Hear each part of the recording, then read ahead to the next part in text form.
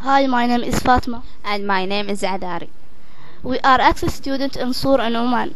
They say the first one built boat and reading the Oman. The comparison from Oman and special from Asur. Indeed from civilization. First thing I want to talk about kind of boat we have. We have kind of boat like Albedal ring Sambogul boom.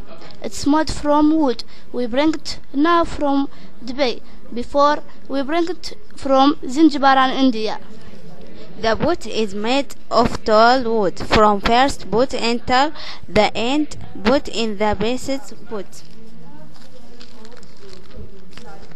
And boot covered by wood by wood and in the begin wood term sherera and in the up of harp and in the end of boat we call the fan.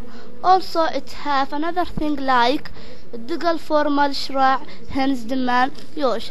And now I will leave you to and now I will leave you to to more picture about making boat in Oman. Enjoy